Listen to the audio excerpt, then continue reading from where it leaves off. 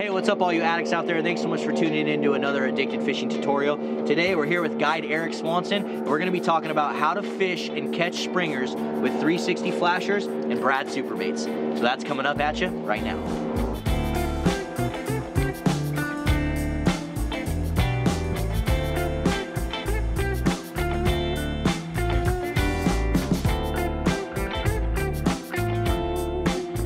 Right, everyone, before we get started, if you guys can do me a huge favor and smash that thumbs up button. If you guys are liking these tutorial videos and you want us to continue making them, we need your help. Hit that thumbs up button and help us get out to more people on YouTube.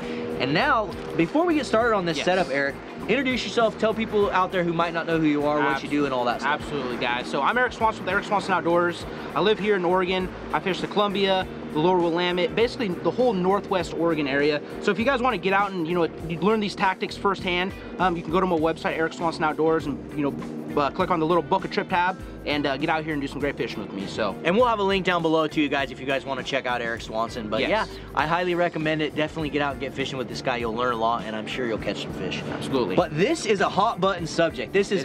I I see about it all the time. I see people asking about it. So let's let's just show people what you do when you're yes. out here targeting springers with these 360s. Absolutely, guys. So the first and foremost thing, guys, is having the proper rod, reel, and line combo to fish effectively. So these 360s, if you guys have ever fished them before, you know they do like the pulsing, thumping heartbeat action. So having a good, long, softer rod is really important to see that thump of the uh, uh, 360 so you know it's working effectively. So I prefer the 10 and a half foot Okuma Guide Select Classic with the Okuma Low Pro line counter reel. I like to run the 65 pound high vis TUFline. Really super abrasion resistant, it lasts a long time. Um, when we're using heavy leads, fighting big fish, it really works well. All right guys, coming down here to the business end, when we're fishing for spring chinook with these 360s, I like to run a dropper line. You know, sometimes in the fall when we're fishing more suspended, I'll attach my weight directly to the slider. But in the spring, oftentimes I'm getting somewhat close to the bottom. So I like to run about a 12 inch dropper on one of these VIP line locks. And what's really important guys about the VIP line lock is you're trolling these a little bit faster than normal. Sometimes your swivels don't allow everything to spin right and you can get line twist. So this line lock helps not get your main line all spun up. So really, really crucial part of this whole setup, guys, is having an apparatus like this VIP line lock to help keep your main line twist free. Next thing, Brad's six-speed bead chain. I like to run 24 inches of 130 pound mono. What that allows is if we get a tangle, a couple rods get tangled up, we get it snagged on the bottom, we hope that our 20 pound leader will break and we'll get our flasher setup back. So 130 pound, 24 inches, really, really effective. Down to another six speed bead chain, dual lock snap. Next thing is our short bus flashers. These things are awesome. They have a ton of great different color combinations. You can dang your pick any color you want. Going down, we have another dual lock snap to a ball bearing swivel.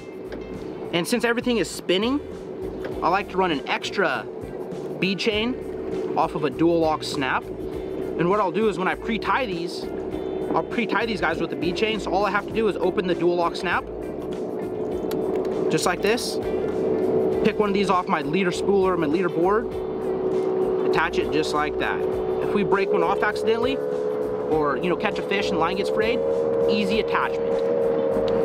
The number one question guys I get about this whole entire setup is leader length, okay? What people forget is that these 360 flashers, they give movement to your bait, whatever it may be. So what you wanna make sure and have it close enough to where your bait is getting the influence from the flasher. So leader length guys is super important. What I like to run is 30 pound mono. And that allows your bait to work properly behind the 360.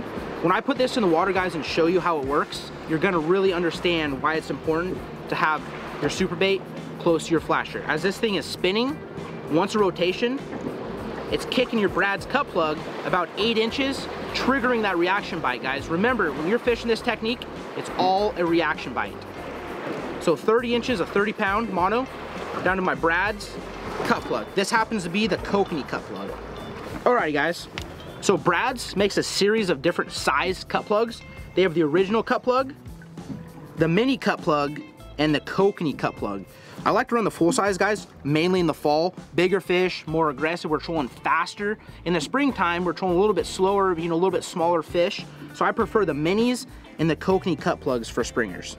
But I do encourage you guys to go out there and try all the different sizes because there are days where the bigger ones might outfish the smaller ones. So always go out there and try everything. Don't just take my word for it. But in my opinion, these are what I like to run. So always go out there and make, make your own opinion and make your own stories. So, alrighty guys. So since I prefer these kokanee cut plugs, I'm gonna show you guys the proper hook placement, size, beads, and of course, the cut plug. So guys, I like to run two one aught mustad hooks I like to run about a quarter inch spacing between them. It seems like that's about the proper spacing when these fish come up and bite. You want that trailer hook to be back there just a little bit further. So two one-aught mustad hooks tied about a quarter inch apart. Then I like to run five five millimeter beads. And how that works is they bump just like that and it puts those hooks right back to where those fish are gonna bite.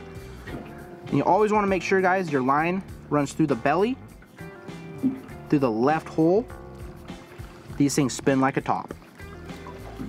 Alrighty guys, so now I'm gonna show you how to properly pack one of these Brad's kokanee cut plugs with our favorite bait, which is tuna. So what you guys don't wanna do is you don't wanna overpack it because they have these holes placed in here for a specific reason and that's to let this bait slowly leach out. If you overpack it, the bait won't have any room to leach out.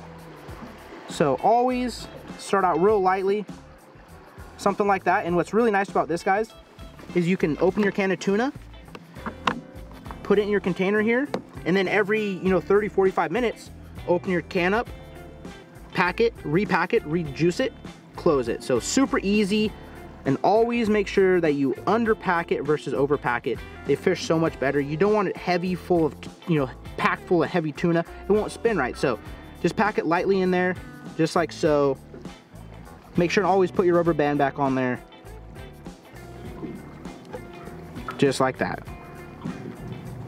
That's a perfectly packed Brad's Kokanee cut plug for springer fishing. Alrighty guys, so now that I got to the spot I want to fish, let's deploy our 360 with our Brad's cut plug. So, bait, cut plug, flasher, lead, drop everything in guys. Don't throw it all in and you know, it tends to kind of make a mess. So lower it in nicely. What I recommend guys is always reel up, take a look at your setup, before you drop it in. You know, oftentimes what'll happen is a hook will get wrapped around your weight, and then as everything spins, it'll wrap up. So it's always a good thing to drop everything in, take a look at it, make sure it didn't get tangled before you drop it in. And one thing I really want to stress, guys, is choosing the right amount of weight for this setup. As you can see, our 360 in the water, it has a lot of drag.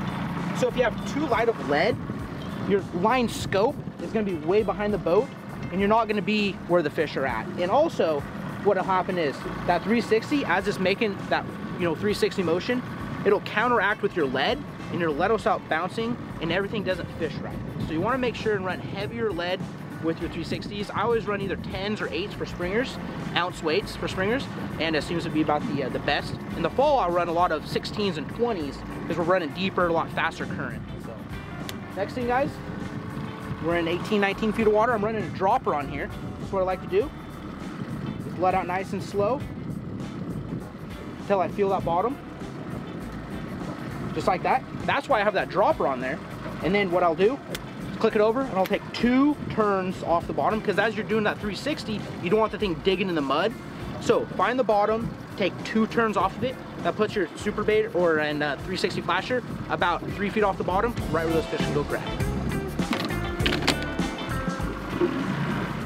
Alrighty guys, so now that we have a rod in the right water column, I wanna talk about watching your rod and why it's so important to have a longer, softer rod. What you wanna do is you wanna watch your rod tip. You wanna have that one 1,000 thump to the rod. Just like that, one 1,000, two 1,000. That's your 360 making the 360 motion down there, and they call it the heartbeat of the rod. If you have too short, stiff of a rod, you're not gonna see it work. So you wanna have a nice, soft, long rod, like our Okumas here, and have that one 1000 thump to it, it ensures that it's acting the right way and it's putting that spin on the bait and that kick to the bait that those fish are looking for. All right, everyone, so there you have it. That's start to finish how you get out here and fish these for springers. I know a lot of people ask all the time, like, do these work for springers? Yes. And they do. They absolutely do, so definitely Yes. put them in your arsenal. Definitely be using them. Thanks again so much for tuning in. We appreciate it. Me and Eric got to get out here and try to catch a fish now, so Yes, we're we going to put some time in. We appreciate it again. Don't forget, links down below if you guys want to check out Eric's guide service. Smash that thumbs up button. We'll see you on the river. See you guys on the water.